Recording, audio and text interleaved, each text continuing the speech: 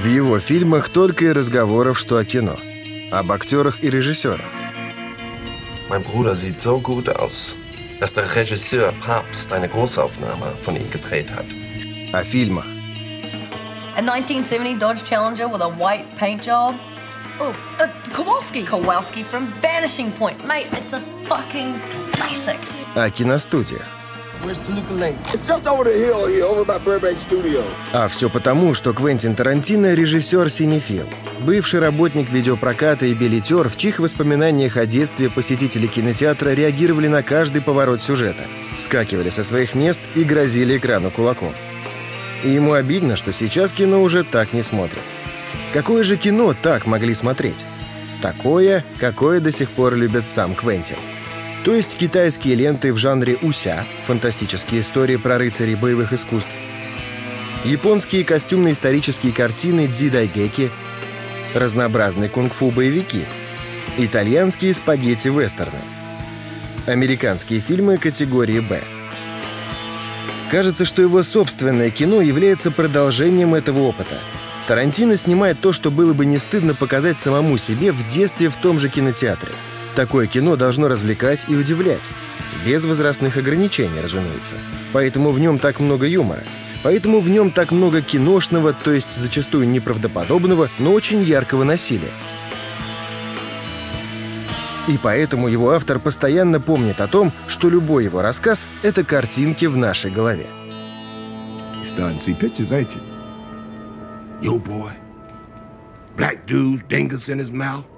Him shaking, him crying, me laughing.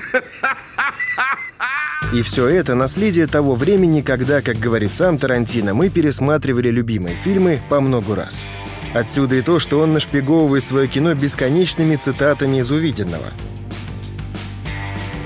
Так, на экране складывается личная антология кинематографа, которую практически невозможно считать всю сразу. Настолько разнообразны и многочисленные отсылки.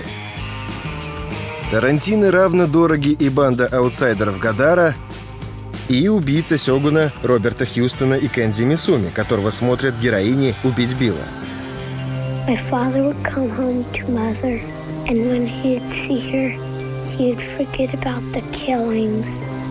и унесенные ветром Виктора Флеминга и Дэвида Селзника, и Метрополис Фрица Ланга, и многое-многое другое.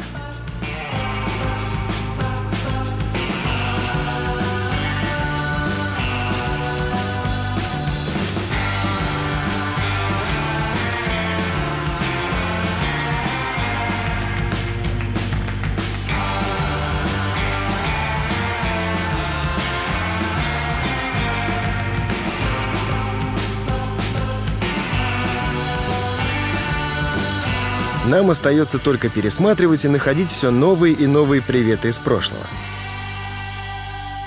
Любовь Тарантино к старому кино проявляется не только в скрытых и явных омажах, но и в том, как он снимает. Этот режиссер — апологет аналогового кинематографа, поэтому все свои фильмы он снял на пленку. А для омерзительной восьмерки и вовсе использовал ныне уже почти позабытый 70-миллиметровый формат. Так снимались великие блокбастеры прошлого — «Космическая Одиссея» Стэнли Кубрика, Лоуренс Аравийский Дэвида Лина и Бен Гур Уильяма Уайлера. Занятно, что Тарантино использовал суперширокий кадр для фильма, почти все действие которого происходит в замкнутом пространстве.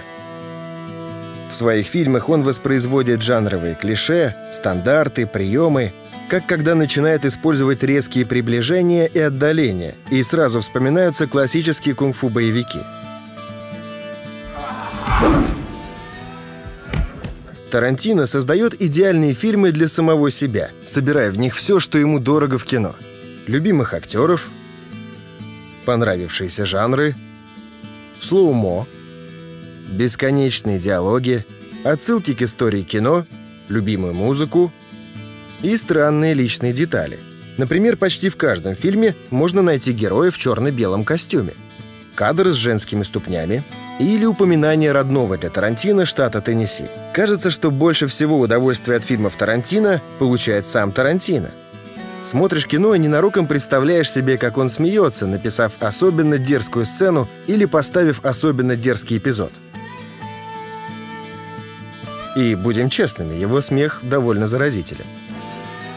Oh, you guys like to tell jokes and giggle and kid around, huh? Но смех смехом, а нет ничего важнее кино.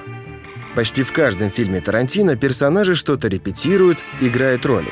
И от успешности их игры часто зависит их жизнь. А наиболее важная роль кинематографу отводится в «Бесславных ублюдках», где от актрисы, кинокритика и хозяйки кинотеатра зависит ход истории. Смогут ли они убить Гитлера или нет? Сможет ли сила кино спасти мир? Конечно, сможет. В мире Тарантино кино всесильно.